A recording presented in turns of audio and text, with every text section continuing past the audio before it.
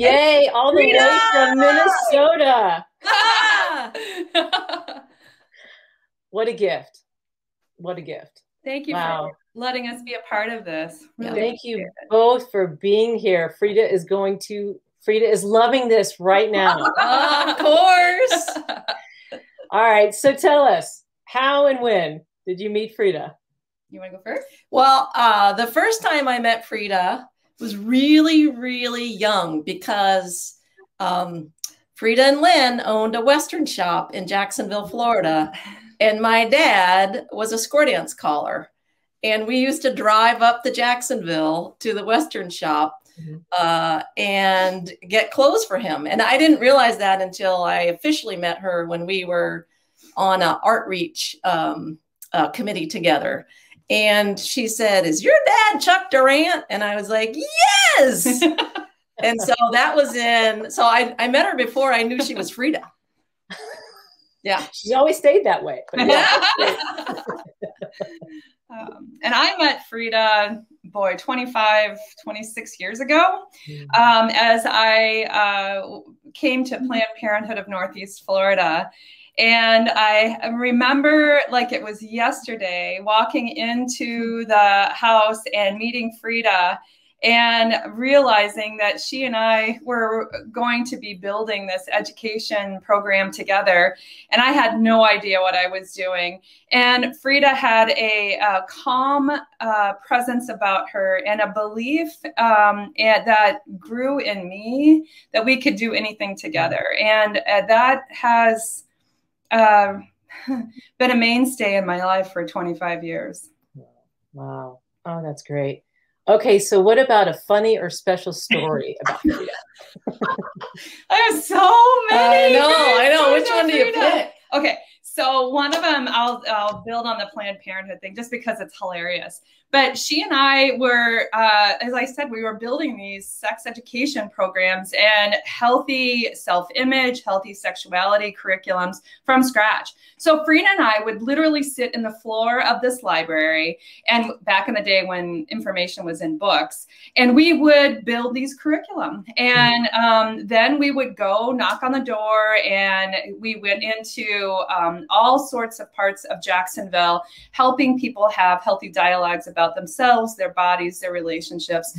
And Frieda was fearless and there were times where we were training and my knees were knocking, and I would look at her and she's like, You got this. And uh, that level of confidence is something that um, I still carry with me. I still see Frieda's face at times when I'm stretching and doing new things as a leader. And I think about Frieda.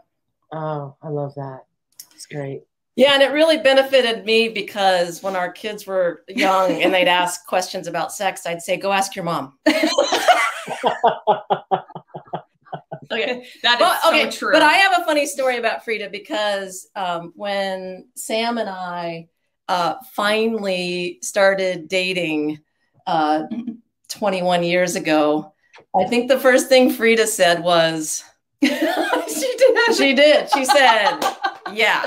It's about time. Like she knew before we knew that we were supposed to be together. So. And then she said, Look out, world. Look out, world. We would say, Look out, world. Yeah. Yeah. yeah. Oh, that's great. That's great. How about um, one thing that you think of that you're grateful for about Frieda that comes to mind?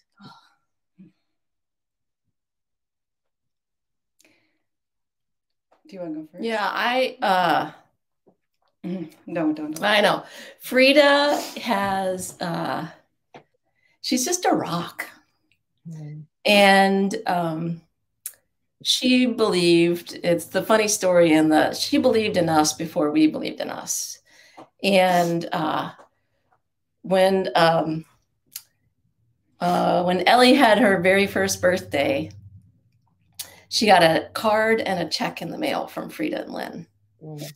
And that has happened for both of our kids ever since. For college fund. For college fund, right? And uh, it just, um, it makes me just smile and the kids smile that they're like, oh, it's Frieda and Lynn. Lynn gets some, Lynn, you get credit too. So, but yeah, super. She's just, she's part, she's family. I think my, um, I wasn't going to cry. I've actually been thinking about this for days. Mm. Ronnie said it best in that she saved my life, and I can count on two hands. Challenging times in my life where the person that I turned to was Frieda. And um, there were times where she literally, as I was leaving an abusive relationship, where the person who got me out of the house was Frieda. Two times where I'd be at um, an impasse of trusting myself for my ability to stretch further, go forth, go through the hard times. And it was Frieda. And I think, you know, as Missy said so well, she believed in us. And it's not just us, it's she believes in um, our entire community and so many people. And look at what has happened because of the love and belief that Frieda has. Um, and there are so many, so many examples, but one I really want to share is as a new mom, um, as a new lesbian mom in Jacksonville, where you know support's kind of like, hmm. Um, we had a colicky baby who's graduating, by the way, uh, this year. And uh, Frieda came over and she taught me, she was very calm and she taught me, like, okay, here's what you do. And it was about Ellie, but it was also about me. Like, you can do this. You're a good mom. And um, I thank you. Mm, wow. Wow. That's beautiful. That's really beautiful. I wasn't going to cry. Well, it was worth it because that that's that those stories are just priceless and, and the heart, you know, it's just amazing. Thank you for sharing that. Any special wish for Frieda? Any special birthday wish? I hope you um, understand even a fraction of the impact you've had in the world. The world's a better place with you in it, Frieda. Thank you. And we love you. Happy birthday. Happy birthday. Thank you both so much.